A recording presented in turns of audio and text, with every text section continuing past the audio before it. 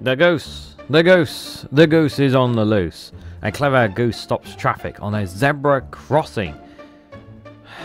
What will these animals ever stop coming up with trouble, will they, guys? This goose on the loose is from the BBC. The clever goose stops traffic on the zebra crossing, and a clever goose has been snapped using a zebra crossing in a busy town centre. The entire town was grinded to the halt by this goose, when all it could just simply do is fly away without having to need to cross the damn road. Don't give me the premise of why did the goose cross the road. I don't have an answer. I'm not that kind. I'm not that smart, guys. You will have to figure out that joke for me.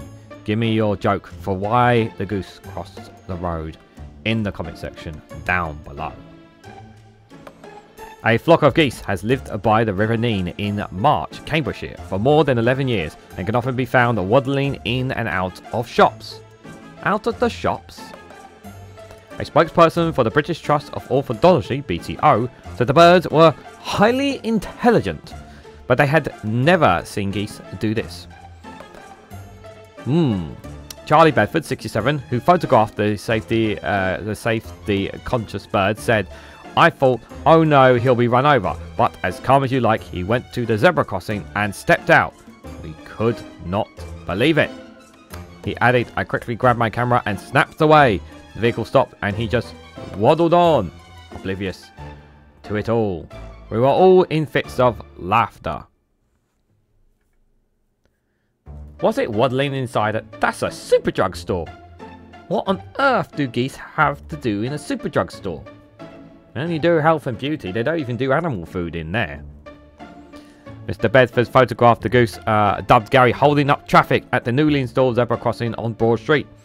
He posted his images posted on social media quickly generated several comments. Some people claimed to have seen the geese using zebra crossings in other parts of the town, while others believes that their droppings could cause hazardous. Well, of course, droppings are hazardous either way, and uh, and they'll give an an, un, an unnice stain on your boot or shoes, for that matter. That is for sure. There is a well-known goose in the garden of the house by the uh, river in March, who is always honking and spitting at passersby, said Mr. Bedford. He's very territorial, better than a guard dog, and locals dub him Gary the Goose. So I gave the goose, uh, gave the goose on the zebra crossing the same name. It suits a goose. It? Oh, coming out of a bakery as well. Hmm. Very interesting. Others reference the famous Beatles Abbey Road album cover from 1969, where the band was seen walking a zebra crossing. Liverpool had the Beatles. We've got the geese, said one person. The BTO spokesperson said they have seen videos of seagulls wandering into shops, but were not aware of geese doing the same. Seagulls.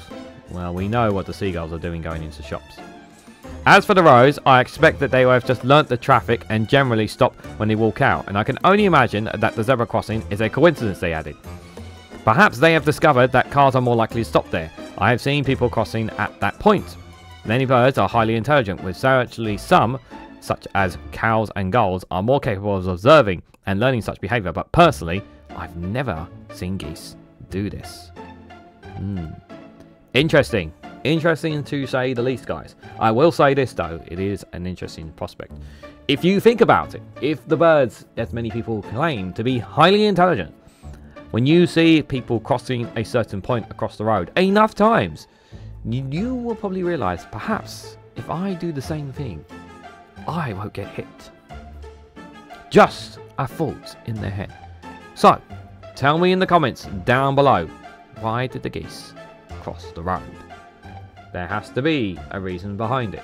So let me know why down below. But before you head out, let me just say, if you haven't already and you find this video insightful and helpful to you, an understanding of the knowledge of the geese, hit the like button, share across social media, subscribe, and maybe even uh, join my YouTube membership for 99p if you really want to.